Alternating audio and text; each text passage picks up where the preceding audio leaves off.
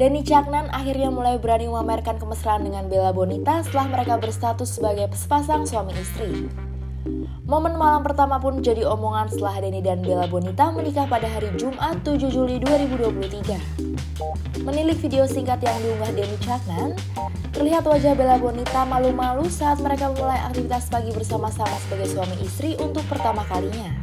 Hei, kenapa malu? Kenapa? Gimana toh yang kamu tuh mau aku video loh? Keluar dikit aja nongol cepet. Malu-malu, kata netizen suruh rekam video Bojo. Lah orangnya aja pemalu, mana orangnya malah malu. Biasa aja, udah gitu aja, aku aja yang di video. Ujar Denny Sabtu 8 Juli. Bella Bonita sendiri malah terlihat berlari menjauh dari Denny. Ia kembali ke kasur sembari memperlihatkan sedikit wajahnya agar sang suami senang. Sebagai informasi, Denny Caknan merupakan nama panggung dari Denny Setiawan. Ia lahir di Ngawi pada 10 Desember 1994 dan beragama Islam. Namanya dikenal sebagai penyanyi yang digadang-gadang akan menjadi penerus almarhum Deddy Kempot dengan lagu-lagu berbahasa Jawa.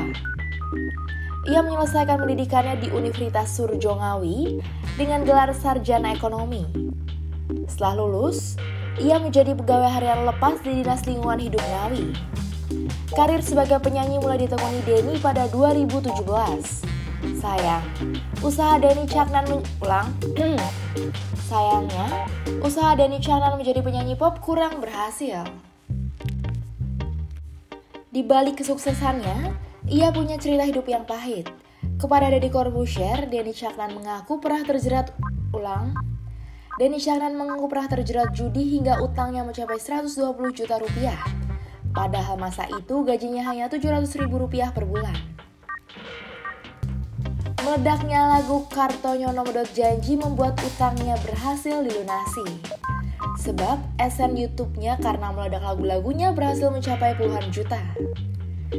Kehidupan asmaranya pun tak kalah disorot seiring dengan kepopulerannya. Denny Caknan diketahui sempat menjalin hubungan asmara. Ulang. Denny Caknan diketahui sempat menjalin hubungan asmara dengan Happy Asmara. Sayang, di akhir tahun 2022, hubungan mereka memutuskan untuk berpisah.